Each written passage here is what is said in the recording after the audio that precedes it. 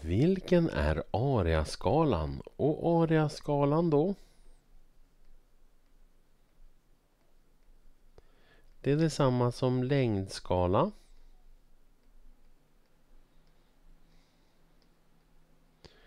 upphöjt till 2. Så i vårt fall så vet vi att längdskalan är 1 till 2.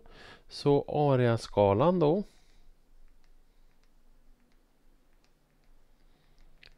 är lika med 1 till 2 upphöjt till 2. 1 upphöjt till 2 det är 1 och 2 upphöjt till 2 det är detsamma som 2 gånger 2 som är 4.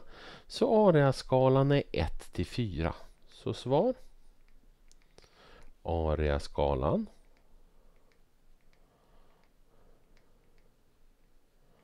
är 1 till 4.